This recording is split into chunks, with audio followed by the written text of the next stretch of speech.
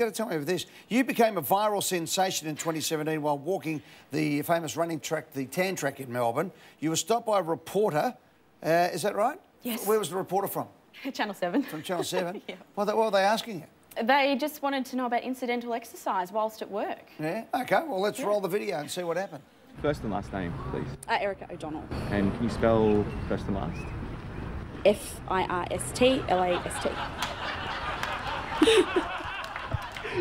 I R S T L A S T. I meant your first and last name. no, no, no. you know, in a decade, no one has ever done that. Well done. Now, they're going to run on CNN, NBC and on Ellen. Correct, yes. Now, let's be honest, it was a stupid question from Channel 7, wasn't it? Yeah. Most people have said, so that's good. Yeah, that's all right. We'll go with you on this one, Erica. Good stuff. I hope you got a question how do you spell first and last here somewhere. All right, you ready to go, Erica?